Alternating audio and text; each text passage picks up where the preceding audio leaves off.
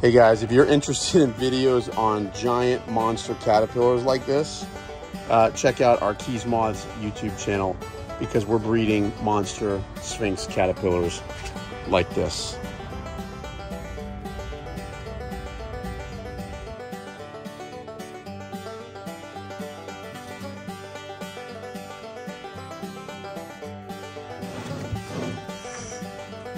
Okay, so interesting. The uh, one of these caterpillars turned from green into uh, the dark form between instars. So we found five caterpillars of the banded sphinx, and they were all probably third instar and they all had this green color form. I'm filming. It's all right.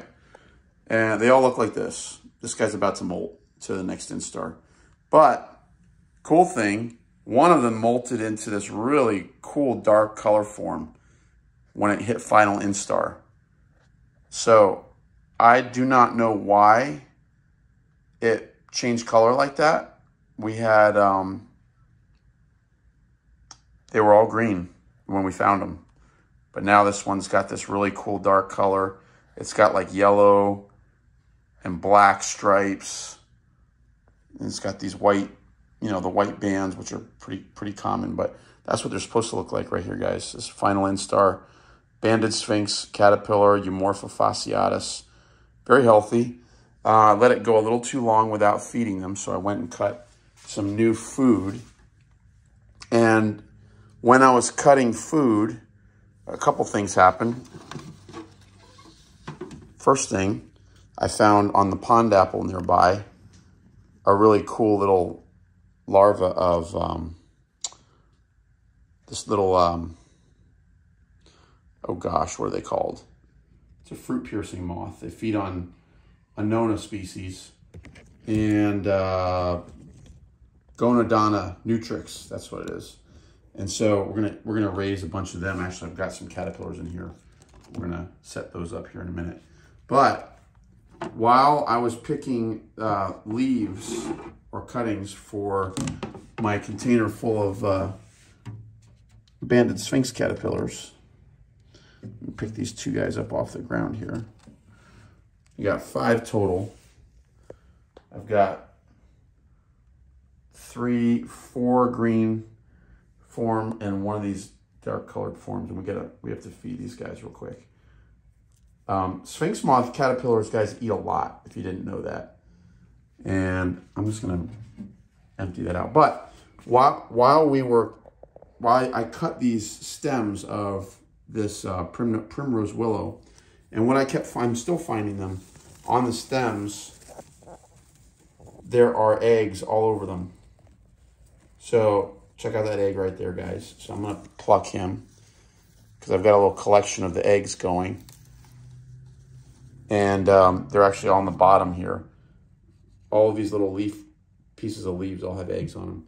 But a female banded sphinx must have found this little plant and went freaking nuts on it, dude. It laid a whole ton of eggs, which is really, really cool. So why is it so bright? All right, there we go. There we go.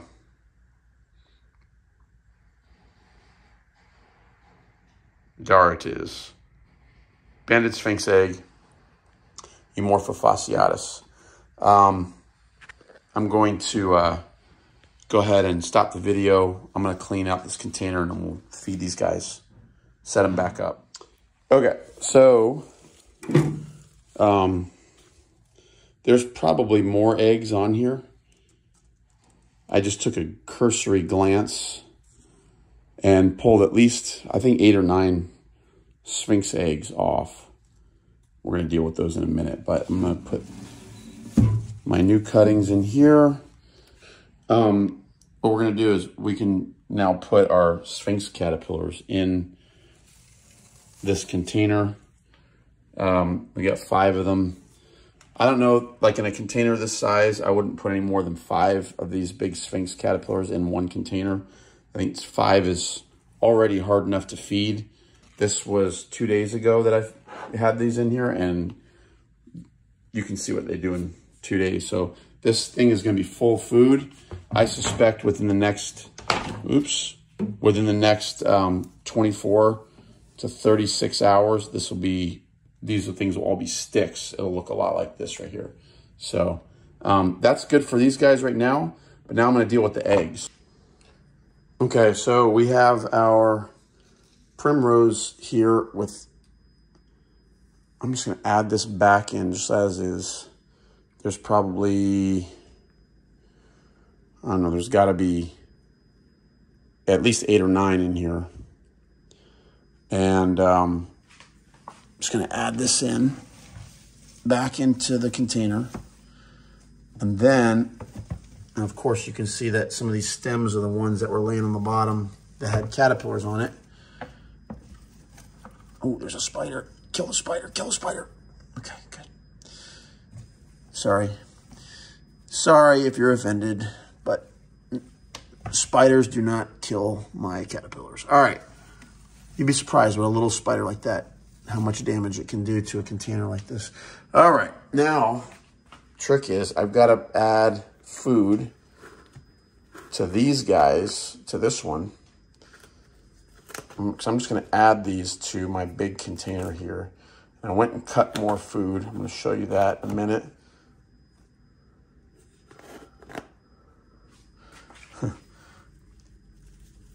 lovely, lovely caterpillars. Okay, I got my new cup full of plant starting to wilt because it was out of water a little too long, but it should come back. It's in water now, and I'm going to get it inside of this airtight container because it's, you know, this thing sweats like crazy. There's no airflow. Just get all these stems pushed down.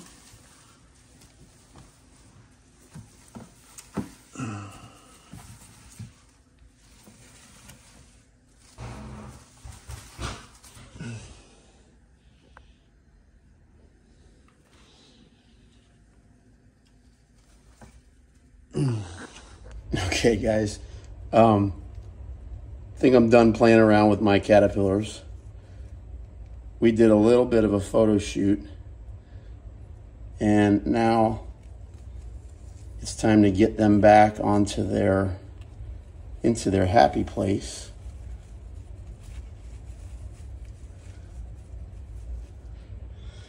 Come on, homie, let go. Echo.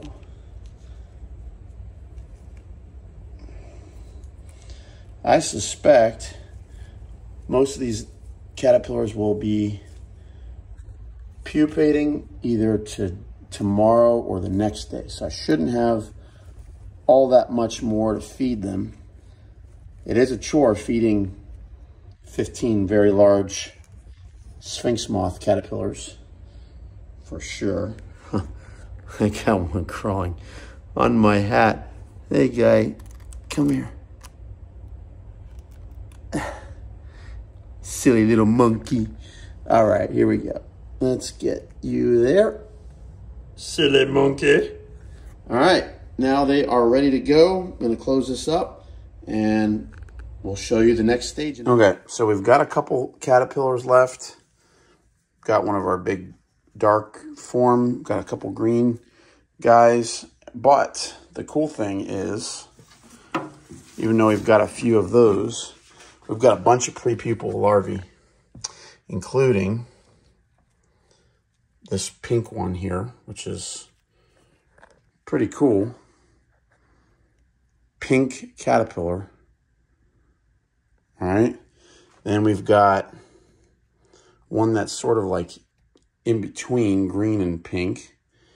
Then we've got like a straight green prepupal, a couple of straight green prepupal caterpillars.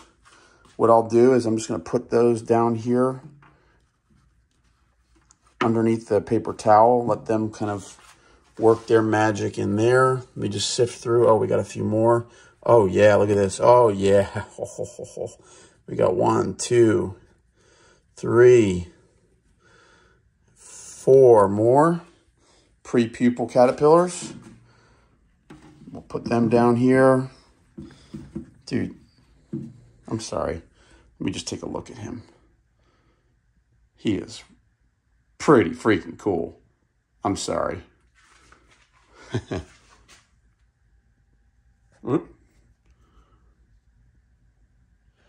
Pretty freaking cool pre-pupal caterpillar of the banded sphinx. All right, any more? I bet there are. Watch. Let's see. we got one more here. And then we got what looks like a pupa. Oh, we just pupated. Okay, that's that's a little touchy. This one's still soft. When the pupa is still soft, it's very fragile. So I'm going to put, I'm actually going to put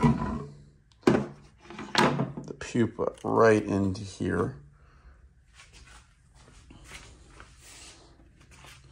All right, now just got to kind of look through one last glimpse. Oh yeah, there's another biggie. Big dog, look at you. Mm. All right, we've got at least 12 pre-pupal caterpillars inside here. We're gonna close that up. We're gonna clean this out and finish out our group here, guys. We're almost done with the Banded Sphinx. Okay, been a few days now, guys, and what I'm gonna do is I'm actually going to remove some of these pupae that have formed. They should all be alive. I'm guessing they're all alive. Yeah, they don't feel like there's any. Okay. Yep, we got some some squirmy sphinx pupa. Should be squirming, a little bit of squirmy action going on. Got four healthy pupa there. And what I'll do is I'll just use this paper towel that's on the bottom here to put the new pre-pupal ones, which I'm gonna get here shortly. But these I'm gonna put in another container. Bear with me. This is a container of moth pupa that I already have ready. Waiting on some of these IOs that are in here. These are IO moth chrysalis pupae. So is that little guy right there. He didn't, looks like he didn't form fully. That's not a good sign. Anyway, I'm gonna put these in here and they have the paper towel ramp to crawl up on when they emerge. So, bingo, ready to go.